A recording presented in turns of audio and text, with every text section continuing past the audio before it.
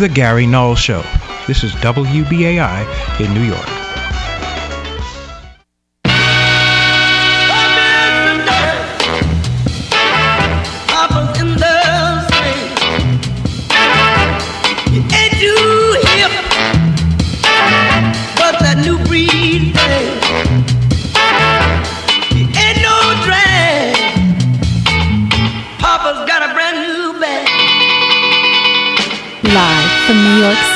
It's the Gary Null Show. And now, your host, Gary Null.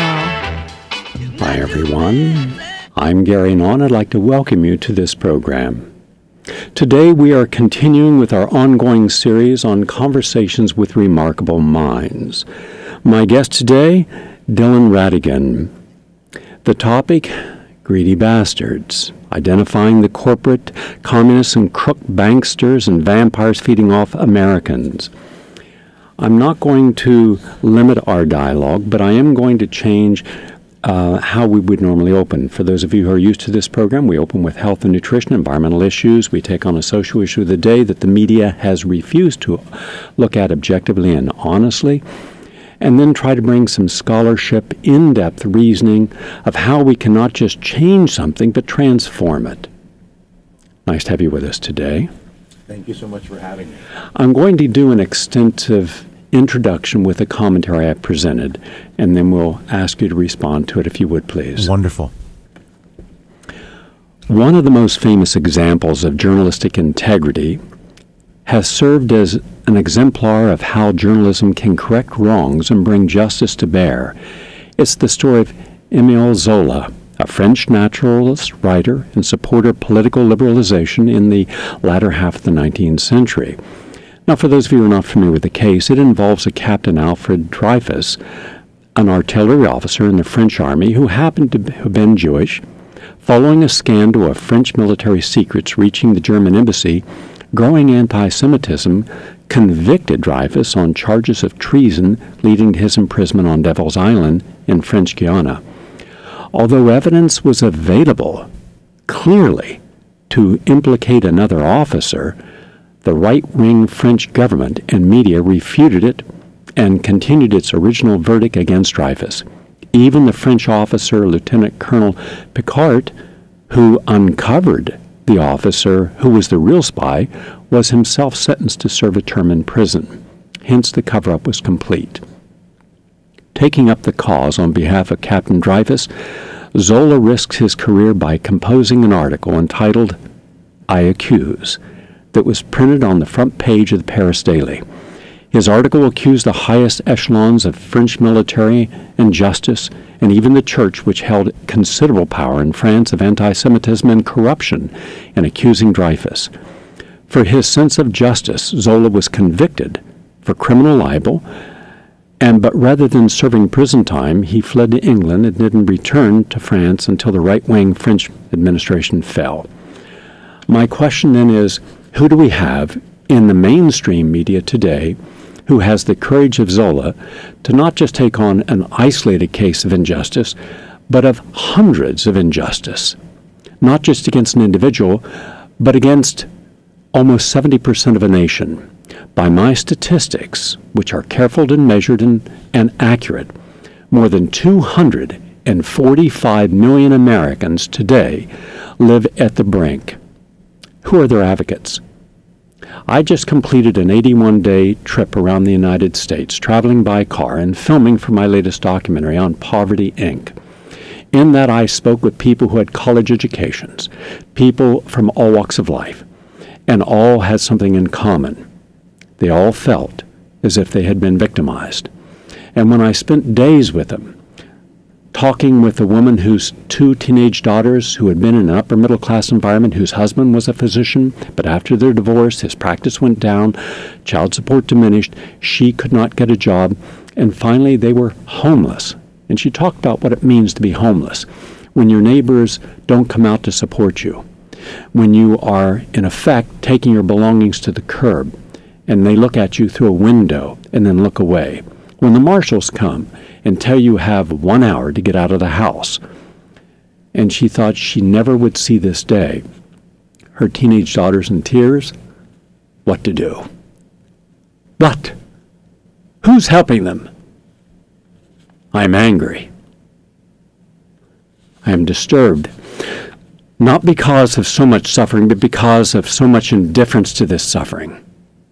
Who stands up for these people? Who are their voices? I interviewed women who were in their 60s who had worked diligently and honestly for 30 years.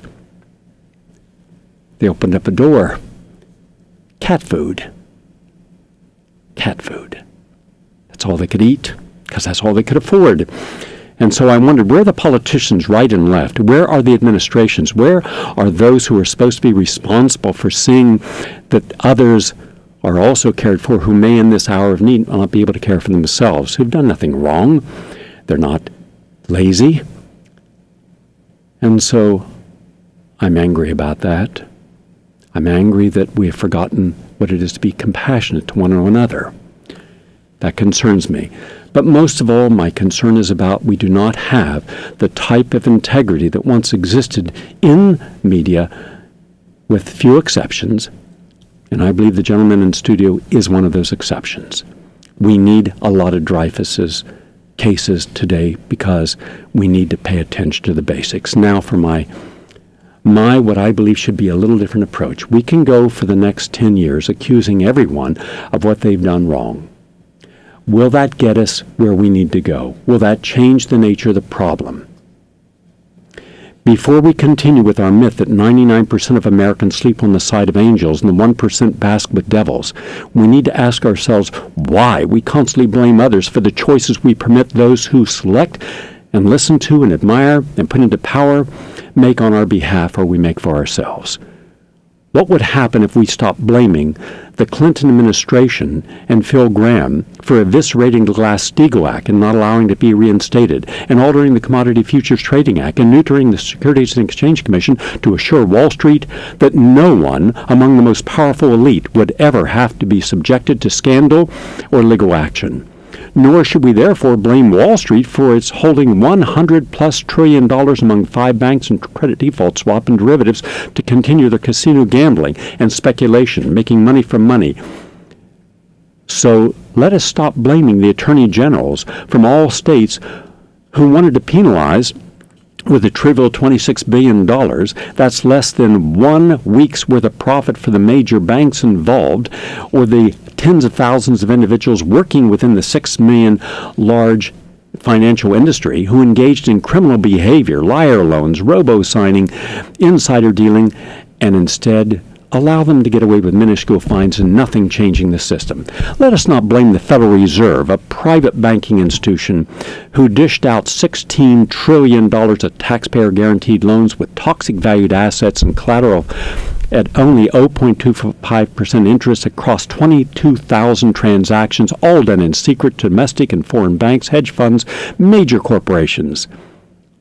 Let us not blame Barack Obama and his administration for hiring only 1,627 former Washington insiders from both the Clinton and Bush administrations to continue the entrenchment of corporate power in our policy decision making. Nor should we blame Barack Obama for exonerating all the crimes of the Bush Cheney and their accomplices for knowingly creating secret intelligence offices in the Vice President's office, which bypassed our national security apparatus in order to divine a rationale for going to war in the Middle East. As a constitutional scholar, let us not blame Barack Obama for undermining our constitutional liberties by supporting the Patriot Acts, the Homeland Security Act, FISA, and the new National Defense Authorization Act that consolidates more power in history over Americans without their input within his White House. Let us not blame the military industrial intelligence gathering industry for its massive financial fraud and redundant operations amounting to approximately $1.3 trillion annually when every single authority of any scholarship shows that only $250 billion is actually necessary to properly keep Americans safe and to defend us. Let us not blame the Bush uh, and Obama administrations for neglecting 12 million hungry American children. They wake up each day with not enough food. This is not Biafra, this is America. Or the 50 million Americans who are in deep poverty, so deep they must live off food stamps, or the 50 million Americans who are working but working poor, making so little they have to work at two jobs, and are so deep in debt in their entire lifetime they will never see a free day of debt. And in the meantime, let us forgive the government for intentionally manipulating unemployment figures for political gain. At 8.3%, hardly, when you exclude all those who stop looking for work and you exclude those who are working one hour a week who and then call them gainfully employed, you're at 21% unemployment. Let us not blame the House, the Senate, and the White House for supporting offshore drilling and billions of dollars in subsidies to clean air, nuclear, and hydrofracking natural gas while ignoring the clear, cleaner, more efficient geothermal and wave energy technologies that haven't even been discussed, let alone funded at any level. Oh, and by the way, did I mention we have 22,000 geothermal springs in the United States, enough to adequately, inexpensively, and perpetually be able to heat or cool more than 14 million homes and businesses. Let us not blame any of the last five administrations for encouraging the Food and Drug Administration and the USDA to denounce complementary approaches for the prevention and treatment of disease while aligning federal health policy with the greed of big pharma and the private insurance carriers who virtually write off our health care uh, system in our hands and give it exclusively to mm, uh, the big pharma, big insurance, health insurance, and big for profit corporations. And also at the time, let us forgive those 14 members of the House who wrote along with the pharmaceutical industry, the Medicare bill, which allowed the government to pay full price instead of inexpensive generic drugs, which have reaped an additional $1 trillion in profits to the pharmaceutical company over 10 years. Let us not blame our Surgeon General and the Secretary of Health and Human Services for failing to offer alternative health care choices nationwide. Rather, we should forgive the FDA its attacks on the natural and supplement industries, even preventing those who grow cherries and walnuts from suggesting these foods might actually help prevent certain illnesses. And while we're at it, let us forgive the FDA for permitting known pharmaceutical drugs that have been maiming and killing thousands of patients to continue to advertise and prescribe to patients with never a single suit against any of these companies, nor even Vioxx that killed 60,000, caused 125,000 heart attacks and strokes. Not a single person was penalized, not a single corporation was fined more than $5.85 billion, and that was simply one quarter's profits, which was the cost of doing business. But that didn't include flowers for the bereaved at their funerals. No apologies from anyone in medicine. Let us not blame the lobbyists, the private consultants, and experts, many of whom are former members of Congress or governmental agencies who draft legislation that benefits their industries at the cost of the public good. Let us not blame anyone in government who says they're for reform and yet allows massive amounts of money to come from all different sources so we buy elections and make a farce of what we call democracy when we have no democracy. We have a lottery. And to the largest who provides the most money, you just bought yourself politicians, and with it, you bought yourself the laws you want. Let us not blame American medicine for being the number one cause of death in the United States while ignoring any criticism about its methodologies, clinical support, or regulatory approval process. Last year, 627,000 Americans died because of iatrogenesis and 13 million were injured. Or let me put it more succinctly, let us, uh, let us forgive and not blame American medicine in the last 20 years for causing the unnecessary deaths of 10 million Americans and injuring 192 million. Let us not blame mainstream media for offering products that promote disease such as obesity and diabetes causation in children and adults. Let us not blame the psychiatric industry for creating non existing mental disorders such as oppositional defiance disorder in order to increase medication rates and drug sale profits. Let us not blame the mental health centers in our inner cities for spearheading community programs to diagnose upwards of 80% of all children that walk through their doors as having mental illness, giving them unnecessary tests such as Teen Screen and increasing medical diagnosis. We must also stop blaming credit card companies who receive government loans at 0.25% interest and are permitted then to charge 29% beginning interest on credit cards and up to 100% if you're late or missed payments. Let us not blame Walmart and major corporations for importing cheap, toxic products manufactured with slave labor. Let us not blame the five past administrations for pushing neoliberal free market globalization practices for their globalization partners. Nor should we blame the International Monetary Fund for the consequences of its draconian rules and structural readjustments, opening markets in poor countries for foreign economic colonization and exploitation. Let us not blame the American media for failing to look honestly at economic bubbles equity partnership bubbles, hedge fund bubbles, subprime and commercial real estate bubbles, and then warning citizens in advance, which they never did. Let us not blame the economic experts who to this day paint a distorted picture of our recovering growing economy. Let us not blame the love fest of the global elites at Davos and the Business Roundtable who believe their power, wealth, and class status permit them to devise and direct our domestic international policies without our vote. Let us not blame the FBI and CIA and Homeland Security for the militarization of our domestic police forces and their intrusion into our lives without warrant or due process, including their punishing the dissent of peaceful environmental and social protesters who find themselves an enemy terrorist because they're now on an FBI watch list. Let us not stop let us stop blaming teachers for graduating illiterate students in their curriculums designed by private corporations that never challenge students to have the intellectual skills to be independent, creative, thinking human beings.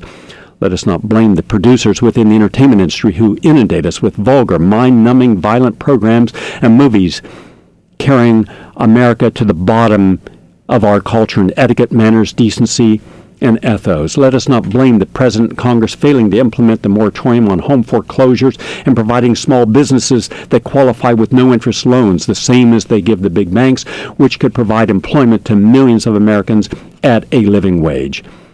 We must also forgive the agro industrial complex, the Monsantos and DuPonts of the world who seek the monopolization of global food and manipulate its current control through genetic engineering of seeds, along with Bill Gates. We must forgive all corporations who contribute to the pollution and destruction of our environment and do so with a wink and a smile. Let us cease blaming the corporate Democrats and the corporate Republicans and their mouthpieces the media propagating rigid ideologies that only serve the interests of those in power and not the common people, for they most all disdain reason and ideas that are fluid and flexible that come from the inner heart and speak to the heart with common sense and not a pedigree a profusion behind the think tanks that dominate all guests on talk shows. And finally, let us stop blaming the U.S. military for causing the permanent disability and death of countless elderly and parents and children in the Middle East and forgive our media's refusal to acknowledge any of their suffering. Also, let us forgive all the administrations from JFK Ford who expanded the military industrial complex for a global imperial overreach, sugar coated in the rhetoric of freedom and democracy, while simultaneously supporting every dictatorship and despotic regime around the world that served our geopolitical interest. And while we're at it, let us also forgive corporate America's celebration of financial profits from offshore jobs while closing down 53,000 factories in the last 12 years. And did I also mention that under this a very important HB1 visa, we have imported 8.4 million American uh, uh imported 8.4 million well-educated foreigners to replace 8.4 million educated workers for one third the salary. And when was the last time any media told you those figures? And finally, let us also not blame the Republicans for claiming to represent smaller, efficient government while supporting the largest social welfare system in history for large banks and major corporations in the form of grotesque bailouts and subsidies and socializing their losses while privatizing their profits. And when we cease to blame government, banks, corporations, the media, the influential policymakers, opinion leaders for the choices we have made, then we must ask what personal and collective responsibilities are there for the plight and crisis the nation is in. Since our current system of governance is beyond reform, from within the system itself, are we then capable of disassociating ourselves from that dysfunction? And at this moment, Individuals identifying themselves as independent thinkers, as progressive thinkers, represent 41% of the voting population. If you're among this group, you're in the majority, exceeding official Democrat Republicans. Therefore, is it not time that we look to coalesce, to work together, individually and collectively, by standards of ethical behavior, by policies and democratic structures that fight for the common good. Otherwise, just continue watching Fox and the other major networks in order to per- perpetuate the Manichean myth of 99 versus 1%. And the blame game goes on. Your response. Well, uh, uh, first, um, I think you missed one. Okay. the prison industrial complex in which we are financing uh, the mass incarceration of one in three young black men only to export prison culture. We basically train our prisoners how to live in the most uh, crude and defiant culture, murderous culture of respect, and then export that culture back to our inner cities, as opposed to intervening in an in a appropriate manner in the, in the short term to heal those among our uh, communities who are maybe prone to violence, such that they can remain a part of our community. Instead, right now, we finance their training and, and re export that culture back to our societies, which is another thing we need to forgive ourselves for and forgive everybody else for. So, uh, the, the, here's the, the interesting thing about listening to the inventory that you just offered. If you are looking for justifiable rage, if you are looking for justifiable, justifiable moral posture, if you are looking to feel that you are mathematically correct, that you are good at math and you know what's going on, there is a never ending rabbit hole of conflict of interest down which you can spend your entire life chasing. Could you explain that for us? Give us some examples. And just you just in, gave them. Okay, but let me explain something, Dylan. I always do this. I give very extensive introductions, you know, creating the larger arc of the program. Then I stay quiet and let my guests, in this case you, really take us on your journey because this is about your journey. We're depending upon you and uh, Rocky Anderson and uh, others, uh, Dr. Stein and many others, who can work together.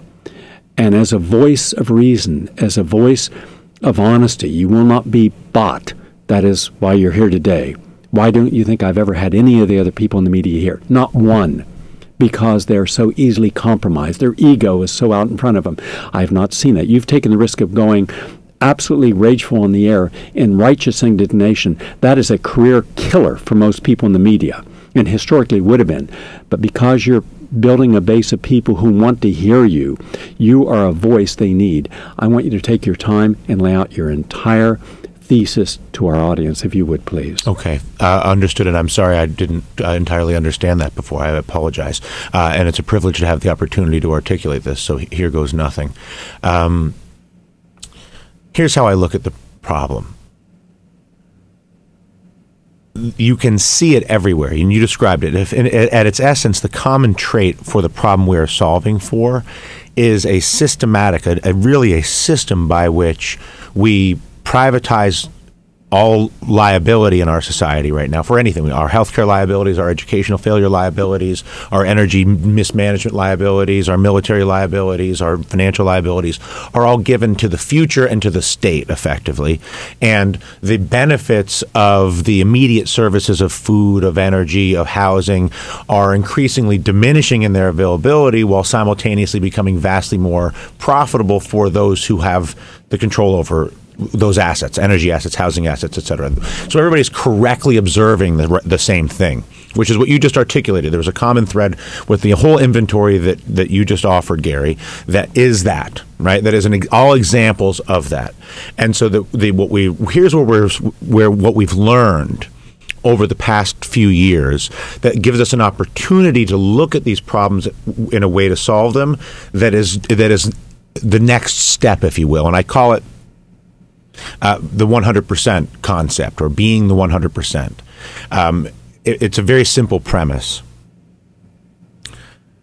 When you look at the actual issues, you want to start where the symptoms are most acute. So there are a, a long inventory of issues that we have to deal with. But in, in order to to understand and appropriately hotspot, which is what is possible now, which I'm about to get into.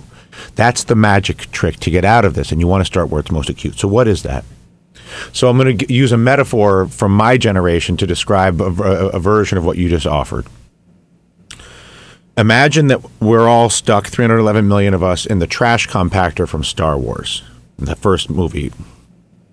And everything that you just described is all the garbage in the swamp that we're sitting in in the trash compactor. And the doors are closing. And one of the doors is austerity. You've got a bunch of people saying, well, we're just going to not feed people. That's how we're going to solve this. Like that's some sort of genius solution. Then you have another door closing that is, we're going to tax rich people. We're just going to take more money from rich people, and that'll fix it. The problem with both of those things is that the size of our liabilities, A, is much larger than any tax levy we could offer would solve, or any deprivation of food could possibly muster in any society. Our liabilities are in the hundreds of trillions of dollars over the next 50, 60, 100 years in this country, depending. You don't even know what it is because of the, the invisibility of the financial structures and all the rest of it. But it is in the hundreds of trillions of dollars.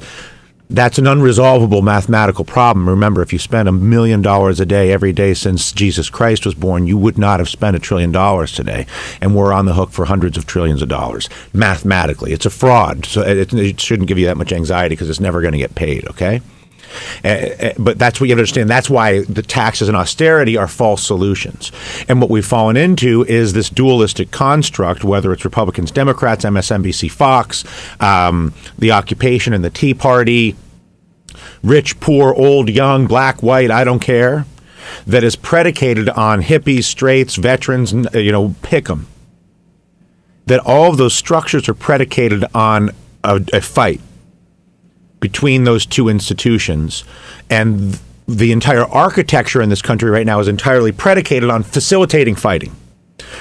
The, the, Republican leadership wants a fight. The Democratic leadership wants a fight. The media wants a fight. The electoral, everything's set up for a fight. The genius of the current apparatus is that while that fight is happening, which is good economics and a great distraction and absolutely self destructive and doesn't resolve anything that you've just described, Simultaneous to that, it's not just that there's the money in our political system. The money in our political system is highly toxic, highly corrupt, and we got to get it, we got to re- reduce it or get it out. Uh, certainly make it transparent. We'll get into that. But beyond that, there's something else that makes the money really powerful that we all need to come to understand right now in this country and address directly. And it's this because 80% of American congressional districts are gerrymandered, they never change hands. Additionally, because the primary system is very small and closed in the incumbent in a primary, is almost never challenged because it is such a threat to the power structure of the DNC. Or think if somebody wanted to do a primary challenge, the greatest example would be if somebody wanted to do a primary challenge on President Obama right now, which is within the threshold of our democracy. Eliot Spitzer could do a primary challenge to, to President Obama. Hillary Clinton could do a primary challenge. I, I'm not even advocating it. I'm telling you this is within the scope of our democracy today with all the horrible laws and all the things we know. We could do that right now, okay? So, on a small scale, that never happens. Not only does that not happen with a sitting president, it doesn't happen with a congressman from Wyoming who's an incumbent. As a result of the lack of any primary challengers in any of our primaries, combined with the gerrymandering of our domestic political districts, we have effectively created thrones that we bequeath unto nobles in our country that we appoint as theoretical Democrat or Republican representatives, in quotations. And the reason for that is because they draw their own districts and they have all this influence over the, the incumbency bias in that situation. Once as a congressperson, Gary, you have complete security over your territory because of gerrymandering and the lack of primary challengers. Your ability to oblige the money that we all so revile explodes. There's no greater inhibitor in the short term to your obligations to the money of the drug companies, the defense companies, the oil companies, the banks, whatever the money might be, than the certainty that the apparent receipt of that money will be a direct threat to your job by virtue of the fact that you actually can be dislodged in the primaries and in your district. But as long as we have that that that frozen block allocation of power through the closed primaries and the gerrymandering, it really empowers the special interests, not just with money, but in any way possible. We have to understand that in order to understand how we're going to fix the system. The, the reason I spend so much time on that one, it, so we can say, okay, we're I'm as you know, I'm a big advocate of a constitutional amendment, a 28th constitutional amendment, to declare that corporations are not people and money is not speech, which is kind of an absurdity because we all know corporations are not people and money is not speech. Corporations a tool, and money is property. Uh, both have value. Neither of us are speech or, or human. Um, but regardless of whether we solve that one problem, we know that really dealing with this is a lifestyle. It's not there's not a single silver bullet, some amendment that's going to solve it. What we're adopting is a lifestyle, and that what and so the question that you really need to answer from me, I believe, is what is that lifestyle? And take, take us through this step by step. if you've just joined us, you're listening to Dylan Ratigan. He is the host of MSNBC's The Dylan Ratigan Show, the highest rated non primetime show on the network, aimed at critiquing what Reagan, uh, Ratigan sees as an unholy alliance between big business and government. He is the former global managing editor of corporate finance at Bloomberg LP and has developed and launched more than half dozen broadcast and new media properties. These include CB, uh, CNBC's Fast Money and Closing Bell, as well as uh, DylanRatigan.com uh, which is the home to his podcast, uh, Greedy Bastard Anecdote. And his book is Greedy Bastards. And so please continue with this. And if you could at the same time, uh, and by the way, we're video streaming at GaryNull.com and ProgressiveRadioNetwork.com. Take us through realistic things that the average person can understand that will get them personally involved. Mm-hmm.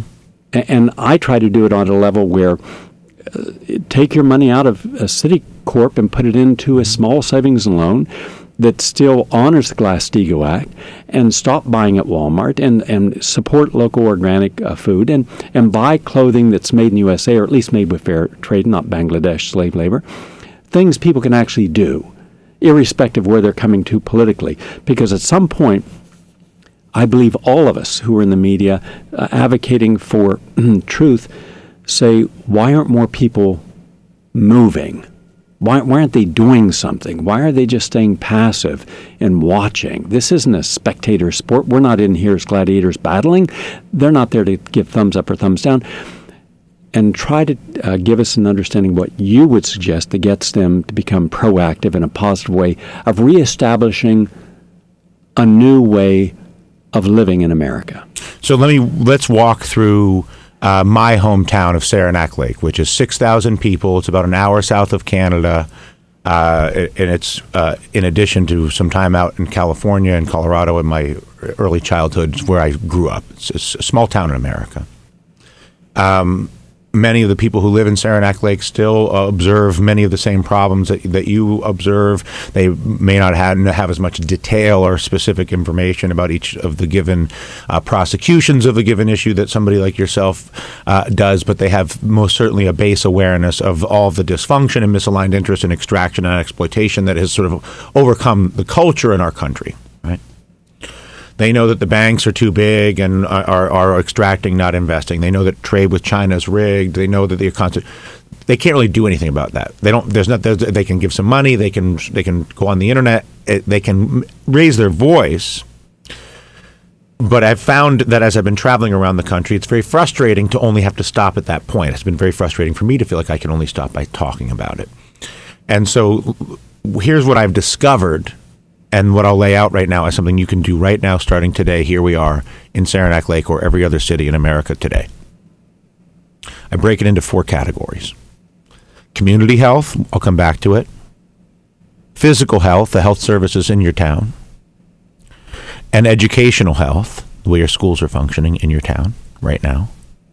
And then finally, local domestic, meaning your town, your city, your county government transparency in that government, and a, a redistricting and electoral reform in that government. So I'll do four things for you.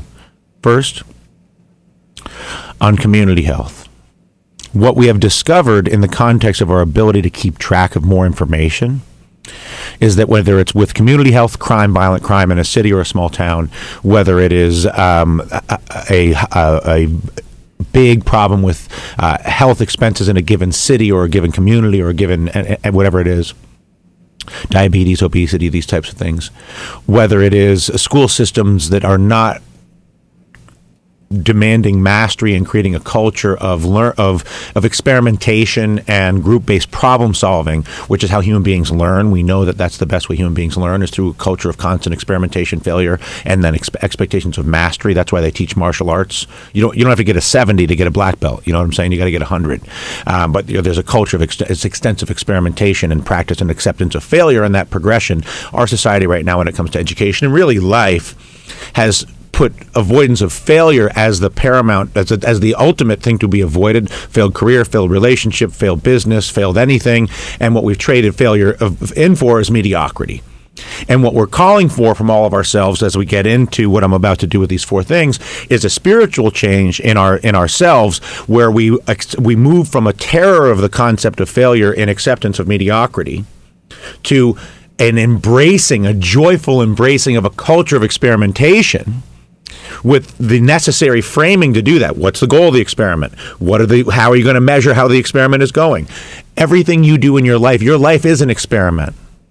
And as we realize that, and then you say, okay, I'm going to see how this goes, and then as I go, each one I'll learn that you then get to mastery with failures along the way, which you learn unbelievable amounts from. And then when you talk to each other about it, the rate of learning explodes and the rate of adaptation explodes. And all of a sudden, you've got a lot of things like what I'm about to describe to you in these four categories community health, health, physical health, education, and electoral. First, it's the easiest to understand, I think, and the most sort of profound is on um, personal health right now in America, we spend money by the trillion um, into all sorts of rigged systems financing the drug companies, private health insurance monopolies. There's a, an egregious layer of misaligned interests. The AMA restricts the number of doctors that can be certified in order to preserve pricing for doctors as opposed to creating more doctors when the baby boomers are becoming this massive aging generation. It's insane what we're doing. Anyway, um, so understanding that and then understanding, okay, that's the problem, and understanding, well, what is the where does the money actually go? Is the first question you have to ask yourself. And so, what we know in America is that 50%, half of the healthcare dollars in America, are spent on 5% of the American population. Half the money for all the healthcare in America goes to 5% of our population. That's not because those 5% are bad people spending all of our healthcare money. It's because they're the ones who are sick. And 95% of us are not sick. Thank you very much for the day. And as a result, we don't spend as much healthcare money. That's a natural misalignment of how we spend money between those who are in need of health care or health attention, really sickness treatment is what we're selling, which is a different conversation, and then those who are not. Okay, you have to understand that to understand how we're going to solve the problem. That's why I emphasize that. So there's a, a physician in Camden, New Jersey, who has recognized what I was just describing and was able to identify the 1% of the population in Camden, New Jersey that was representing 30% of the healthcare costs.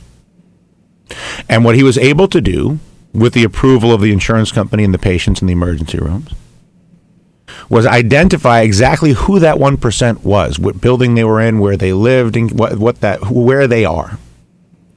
And then he started approaching them individually, saying, Do you like going to the emergency room three times a week? And frequently they would say, No, I don't. And then Dr. Brenner said, Could I come over to your home with a, with a health professional and uh, see how you administer your medicine, your diabetes medicine? He's Sure, it's a true story. They go over and they find that this individual who has bad eyesight was putting in uh, their medicine every day regularly as they should, but they were injecting air and not insulin into their uh, body because they had bad eyesight. And as a result, we were at the emergency room all the time. So what Dr. Brenner did was made sure that they actually took their insulin by hiring local uh, people from the community, from the check cashing store, from the Dunkin' Donuts, whatever it is, and said, "How would you like if I paid you 500 bucks a week to go visit these people, these 1%, and make sure they take their medicine, take them for a walk around the block, uh, have a conversation with them, have a meal with them. A near 50% reduction in health expenses within that 1%, translating to a 20 to 30% reduction in overall cost reduction for healthcare. It's called hot spotting. Identify the people that are most in need and then over out in, in our society right now, we the most in need are we ignore every way possible the inner city of our of our communities, uh, the sickest in our communities, the the weakest in our communities. We don't we want to pretend they don't exist because our, our society glamorizes and mar- and and celebrates strength and, and is shameful uh, of weakness as a society. What this is is the antithesis of that, which is based on the premise that you are only as healthy as your weakest link. And in the case of health, identifying those most in need and helping them is the number one mandate of the system. Dr. Brenner is doing it. Not only is he creating explosions in health, he's creating a collapse in the cost of health. That same principle is being applied by David Kennedy right here in New York City at the John Jay College of Criminal Justice, along with a series of judges across America, including a, one I would really recommend your users look or your listeners, excuse me, um, look into, named Steven Alm, who was a judge, uh, one of the uh, great prosecutors, and was a, a U.S. attorney out of Hawaii, uh, who is doing inc- incredible innovations along the lines of what I'm about to describe for community health. Same premise about 5% max, sometimes it's much less, 2 to 2%, 1%, of any given community is really responsible ever for any of the escalated violent crime. Ever, ever, ever. In South Central, in New Orleans, in, in Oakland, in East New York, in Detroit, the most violent cities that we have, the vast majority of the communities in those cities are not violent, just like most people aren't sick. Okay? So, what David Kennedy realized, along with others, is that if you can go into those communities and identify who that 5% is and figure out who the three most influential people around that person are, it's not me, it's not you, it's not some outside figure. Maybe it's their aunt, maybe it's the gang leader, maybe it's their little brother, that's why I call it custom motorcycle making. You have to go in and see what are the influentials around the person who is, in the case, the most agitated or the sickest or whatever the characteristic that is harmful to either themselves or the community, that is the community's responsibility to restore, to identify and restore which is what we're seeing people do immediately in this country all over the place in little hot little oases of innovation and solution like camden. I, I can list many others and what we are seeing when these techniques, David Kennedy's techniques of identifying the actual 5% that are responsible for violent crime, changing the threshold from there'll be no petty, petty crime and there'll be no drugs, because I hate to tell you, there's petty crime and drugs in every neighborhood in America. The threshold to which we are holding these communities is a moral aspiration that actually doesn't exist anywhere in America. The reason David Kennedy is having so much success is because his threshold for the communities that are the most violent in this country is please don't shoot each other. I'm not here to tell you not to smoke dope. I'm not here to tell you that there's not going to be uh, the same sort of you know vandalism and whatever may happen. But you can't kill each other and you can't be violent towards one another. And with these techniques and those thresholds, matched with massive innovations in the judicial system as the parole officers relate to their felons. Right now in America, we have this sort of grandiose vision that if we put somebody in prison for 20 years, it will teach them a lesson. what we've learned in the science is this is, is that the net present value or the current aware value for a, somebody on the street between a one year jail sentence and a 20 year jail sentence is 1.6 times. The deterrent value, you don't want to go to a jail for a year, Gary, any more than you want to go for 20 years because your preference is to simply not go to jail, which is the vast majority of us, okay? And so the way we do parole right now is that there's no set engagement, and there's basically it's up to the parole officer to decide. Well, if I'm a, if I'm a lenient, it's like having a, a strict teacher or not. Depends on your who your PO is. So it creates this culture of great inconsistency and a confirmation of the bre- breach in the social covenant that we're talking about. Everybody's correctly identifying that the social covenant. So the social covenant with inner city blacks, black and Hispanic communities in America is broken. They're telling us that. We frequently don't want to acknowledge it because it scares us to acknowledge that. But when it is acknowledged, what happens is this you see the system change to immediate jail time, two days. The second I see a, a drug test failure or breach of proba- uh, probation, this is what they, they are getting an 80% reduction, 80% in recidivism, violent crime, all the statistics through techniques based on this hot spotting and immediate intervention. I can tell the same stories around Salman Khan and education and experimentation, but I don't want to go on too much. The point is that there are you, I can do all of those things in Saranac Lake today. I appreciate those insight. I would like for you to also address what I consider not just the symptoms, but also the cause. We have a war on drugs that is completely failed, a war on poverty that's failed, uh, a war on uh, diseases that have failed, but have become very profitable for those groups and corporations that are a part of it, including the for private uh, prison population uh, overseers. And so every time you put a person in jail for marijuana, in one case for 10 years for two ounces of marijuana, that doesn't help anyone except the people who get paid for that person being there. What would you say to the, going into the communities that have a disproportionate number of African Americans or Latinos in prison for committing the same so called crime that a Caucasian would commit, showing an institutional bias and institutional racism that we're afraid to address. That's part of it. Separately, I go to Camden. All right, I, I, take food over to Sacred Heart Church. Michael Doyle, who was one of the Camden uh, protesters back uh, in the Vietnam. He's still there, still helping people in the middle of what has become this giant ghetto, the, either the first or second most uh, crime-ridden, polluted, and poverty impoverished city in America. Yes, you'd have to go out to Compton in California to find something comparable. And yet, I ask, what has been done?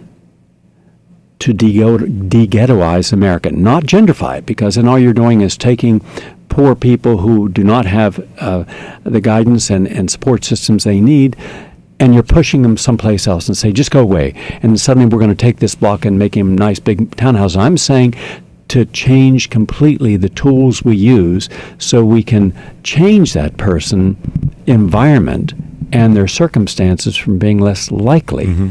to commit uh, any crime or even something that many of us don't feel should be a crime, and that is uh, taking these drugs. Your thoughts on this, please? Well, I mean, the, what, what, David Kennedy at John Jay and Judge Alm in Hawaii and, and, and the superintendent in Chicago, the superintendent of police in Chicago, is now uh, taking up these issues. I'm going to go out and uh, see him next week.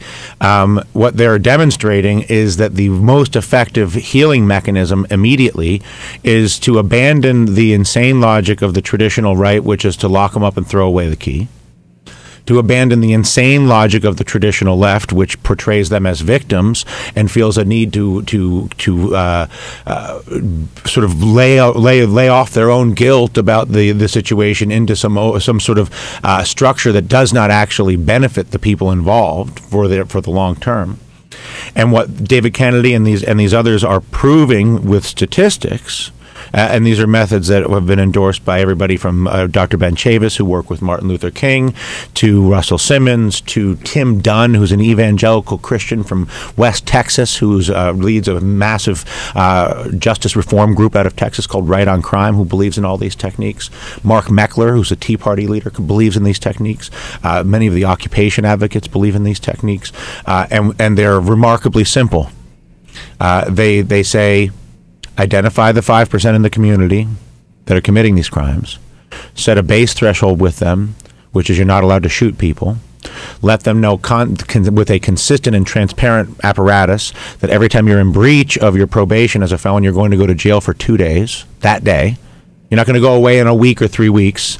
The most important thing we're finding is that it's when I get you in breach that day, I put you. Nobody wants to go to jail today. They don't care from a year to 20 years. Nobody wants to go to jail today.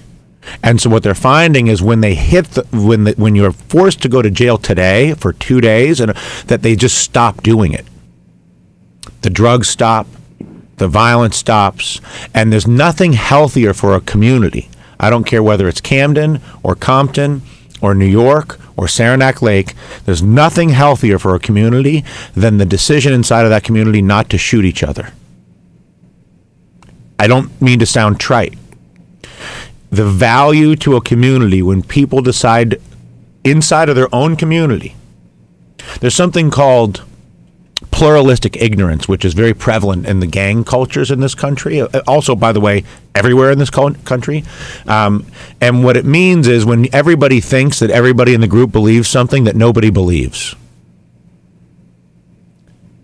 And that is very common. So, for instance, uh, drive-by shootings or gang rapes or things that really get that that that, that occur in some of these cultures. And then you'll interview to David Kennedy. He'll interview each one of those participants, and none of them they all feel horrible. They didn't want to do it. They thought the other guy wanted to do it.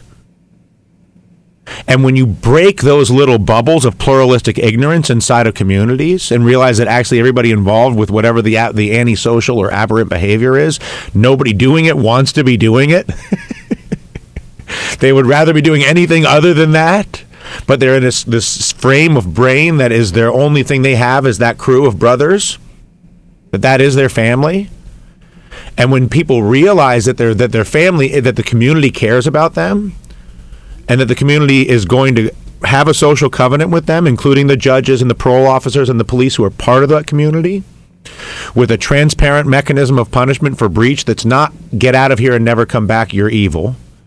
That is, that behavior is antithetical to this community. We love you. We need you not to do that. You're going to go to jail for the next two days and then come back and please don't do it again, okay? Let me add. The one, effectiveness is stunning. I, I would agree with that. Let me add just a thought to see what you think of this. When I was growing up in a small town in West Virginia, anytime any of us did something stupid, um, what would happen is that a group of individuals would always sit down with us, a grandfather, uncle. There was always some elders, and they would explain the consequences, not only then, but in the future. What if it, we encouraged in every community in the United States, not just in ghettos, that we start to look for those elders to be there as ambassadors of love, of direction, of kindness, so that you had people you could go to when you were confused about where you were at. You were angry or you were disappointed. Instead of eh, exhibiting that as rage towards innocence, instead you had people who could advise you who were wiser but also we're part of your community. We don't have that in the United States. They have that around the world. We don't have it here. Native Americans had it. Um, why can't we do that as well? Well, what David Kennedy is doing, and what I've, I've I have already agreed to do with David Kennedy, along with Russell Simmons and Ben Chavis and Tim Dunn out of Texas and Mark Meckler, is we have agreed as a group to to begin a, an aggressive advocacy and escalation and scaling of what David Kennedy has already proven out, which is that community restoration, custom. We uh, we we jokingly recall it. It's it's like making a custom motorcycle for every community. Uh, there is not a, a, a one size fits all solution from Texas to Birmingham uh, to Saranac Lake to Seattle. Uh, each community has its own identity. It has its own uh, culture. It has its own way of being and its own divisions and, and alignments. And and that's the brilliance of the David Kennedy's models uh, is that it is based on uh, directly identifying and helping to encourage and support the influentials in a given community, knowing that there's a variance. Where I grew up, uh, John Raymond was the head football coach, was a very influential man in the community. For instance, there's other towns where there's there's other there's also there's a be a, a you know an elder uh, teacher uh, who can have influence. You don't, you don't know. It could be somebody's aunt. It could honestly be somebody's younger brother. It doesn't have to always be an elder. An influential is not just inherently somebody who's older, although that is frequently a, a critical component. An influential is somebody that the, those who are exhibiting the most aberrant behavior are the most likely to be influenced by, which, again, in the case of a 19 year old, may be their younger brother as much as it is their grandfather. But the idea that is the this is what we are doing. I would like th- there is a coach that took over a very um, down and out team, a poor team in a poor town, and he helped them become winners. And when asked, he said, um, "You know, uh, uh, sports and football creates character." He said, "No, it doesn't. It reveals it." I believe that if we went in a different approach where people are hurting and we're there to give them some uh, support, understanding their problems from their unique perspective, that it would reveal who has strength that we didn't know but had misaligned with sources. Now, we don't have a lot of time left, but I want to as also ask you I'm uh, three years ago, a year before any of the collapse, on this program, I did a one hour prediction of the collapse that was coming when everyone thought this was stupid, and I predicted five, uh, six bubbles including the hedge fund bubble, the equity partnership bubble, which has led to over 26 million jobs being changed, downsized, or lost over the last 32 years. But I also said uh, just a year ago, and then again three months ago, I said, if the International Monetary Fund and if the European Central Bank go ahead and give the bailouts to uh, Greece demanding 22% reduction in their minimum wage, uh, and taking away 155,000 government jobs and selling off their national assets, they will win in the short term because they control, like ours, Congress is controlled. But what will happen is the, the people will go to the streets. First, they'll protest. When the protests are not met with any resolution, they'll burn their buildings. There'll be riots. When that is not uh, met with any change, and when the international banking community feels, oh, now we're going to get our money, because as you know, the vast majority of the money that's going to be given to Greece does not go to Greece, it goes to the bankers and in rollover debt. Then they're going to unseat their government. With that, Germany will influence that we better cut this tumor off so it doesn't affect the northern European Union. But uh, and so we have one less. You know, we have 26 and 27 instead of 27 European Union. But I believe at that point, it'll be too late. I believe that uh, you'll see the same demonstrations and activity in Portugal, then Ireland, then Spain.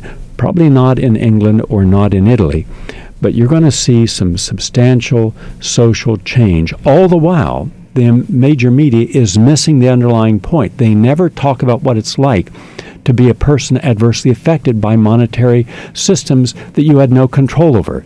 Your thoughts, what you see happening, and where you believe this is going. I have no idea where this is going. I don't disagree with your assessment of the risk as you laid it out. My goal and my intent as a journalist and as an advocate and philosopher uh, is to drive our energy towards building these second sets of maps in our communities and in our country and in our electoral process, such that when we are taken to the crucible of extraordinary um, suffering among uh, hundreds of millions of people simultaneous to a demand to reconcile trillions of dollars in debt, which is a crucible we have we are on now, uh, but we are coping with by currency manipulation effectively. Um, when the, we get to that crucible, my hope and my intent and my advocacy is that we will resolve at that crucible uh, as we did in 1945 after World War II uh, with the Marshall Plan and a, cam- a, global debt restructuring, a global uh, release of the fraudulent obligation to repay uh, into an invented paper currency that has cr- done nothing of any value, nor has it actually ever existed. And yet, the poorest and the weakest among us are being asked to consistently pay for it, as you just saw uh, in Greece. And so, uh, my hope is that the more people understand that there are basically three choices continue uh, with the stresses of the crucible we're on. Uh, engage in escalated conflict and violence with one another, uh, as we chose to do uh, many decades ago, or uh, as we realized after the last global conflict, uh, we could simply make the decision to do a global debt restructuring and stop supporting the fraudulent nature of the, the economic structure uh, and release a renaissance of growth and super innovations, uh, which I am certain uh, are we are on the verge of achieving. Um, that's why I'm honestly so excited. Is that I know for a fact that as we fairly quickly tick through uh, the this transformation that you speak of and get through a Marshall Plan, uh, that we can rapidly uh, we're seeing super innovations spring up all around us as it is, and we just want to accelerate that. Thank you. Of course, I did some math on this. If we were to have given each small business person in the United States the same 0.25% interest the Federal Reserve gave in $16.1 trillion, and with the provision that up to $5 million for each million dollars you hire one employee at a living wage, that would have now gainfully employed 11 million Americans. Instead, we employed no one new, but the banks did well. Let us hope that we have this renaissance and I know that there's going to be a lot more dialoguing on this. Dylan Ratigan, author of Greedy Bastards, and a major voice. You can watch him, The Dylan Ratigan Show, on MSNBC each day in the afternoon. Thank you very much for being with us. Thank you for the privilege. I'm Gary Null. I look forward to sharing more on our next program. And don't forget, this evening, 7 p.m., the Progressive Commentary Hour. We're hoping that we'll have 200,000 downloads. That would make it the most downloaded show in the United States on radio for tonight. And uh, tonight's issue, the 12, uh, the 12 tipping points. Leading environmentalists will talk about which ones are going to tip, which have tipped, and what we can do to prevent the rest from tipping and the consequences. Have a nice day, everyone.